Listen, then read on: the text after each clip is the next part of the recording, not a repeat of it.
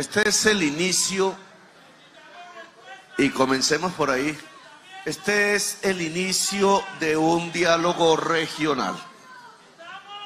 El diálogo regional es un proceso por medio del cual lo que buscamos es que una región consensuadamente o hasta el máximo del consenso posible pueda construir, pueda visualizar qué es lo que quiere los próximos cuatro años de esta región.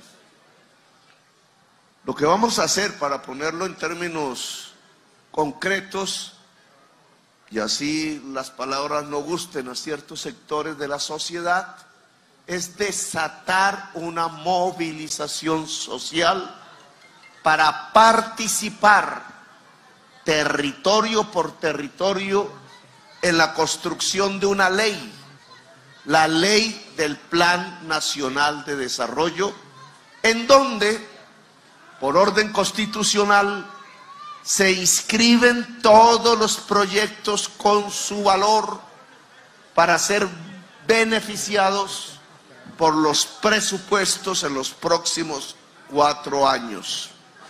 Es decir, proyecto que no esté en el Plan Nacional de Desarrollo no va a existir en los próximos cuatro años. Eso es lo que ordena la ley, así es como se hacen los presupuestos.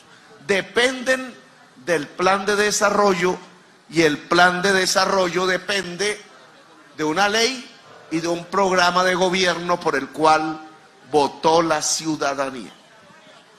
¿Qué es lo que entonces queremos hacer? Que ese programa de gobierno votado mayoritariamente por la población colombiana pueda enriquecerse, y enriquecerse no es retóricamente, no es con unos discursos, sino enriquecerse con los proyectos claves que tras una visión del desarrollo que se quiere de una región introduzca la sociedad misma del territorio. No Petro, no los ministros, no los congresistas, sino el pueblo del territorio. Sigo hilando este discurso. Invito entonces a la sociedad caldense y a la sociedad manizalita específicamente en esta ciudad a construir un proceso de tres meses de diálogos diversos de todos los sectores, políticos, sociales, sexuales, económicos, rurales y urbanos, para establecer los ejes fundamentales que se quiera hacer en los próximos cuatro años en esta sociedad, en este territorio, por el gobierno nacional y por ustedes.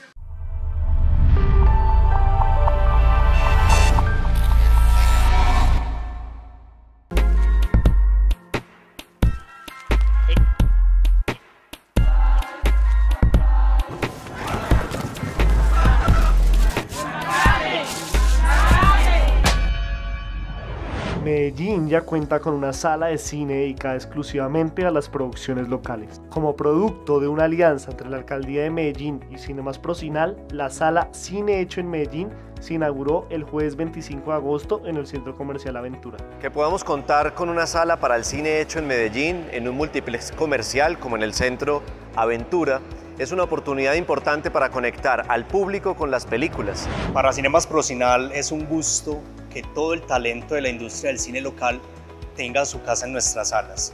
La nueva apuesta para la promoción de la industria local acogerá el estreno de tres películas pendientes por llegar a carteleras este año. Eh, para mí como productora es algo muy importante, o sea, creo que lo que está pasando hoy es muy valioso y muy lindo y nos demuestra que, que nuestro cine es importante, o sea, que hay buenos y nuevos creadores, que hay historias diferentes, o sea, todas las historias que este año se van a lanzar y ya se lanzaron y están próximas, son historias súper diferentes y creo que ahí está como la magia de todo este cine en Medellín, que tenemos muchas historias que contar, eh, somos talentosos y que la idea es que la gente apoye este cine y no lo vea como un cine independiente, sino que es un cine colombiano y una industria que, se está, que está creciendo y se ha ido fortaleciendo. Además, esta sala servirá como escenario para conversatorios que se realicen alrededor de estas obras. Los asistentes recibirán una caja de crispetas exclusiva del teatro y la boletería tendrá un descuento especial.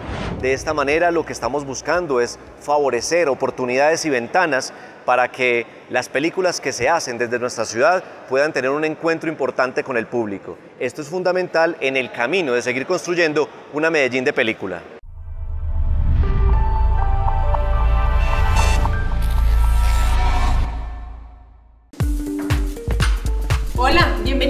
Tercer canal.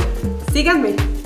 En más de un año de creación hemos podido acercarnos cada vez más a la Colombia profunda. Gracias. Y poder acompañar el sentimiento popular de una generación que quiere que la dignidad se vuelva costumbre. Ustedes, los seguidores del tercer canal, son la razón por la cual nosotros podemos seguir realizando nuestro trabajo día a día Gracias a sus aportes a nuestras líneas Neki y Davi Plata, podremos seguir llegándole a millones de colombianos la información de nuestra agenda alternativa. Y recuerden suscribirse a nuestro canal de YouTube para recibir todas las notificaciones de nuestros contenidos. Somos el tercer canal, la voz de los que no tienen voz.